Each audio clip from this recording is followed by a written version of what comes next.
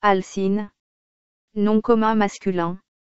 Mot formé des trois premières lettres du mot alcali avec le suffixe INE propre à cette famille de produits. En chimie organique, famille d'hydrocarbures insaturés comprenant une triple liaison covalente entre deux atomes de carbone.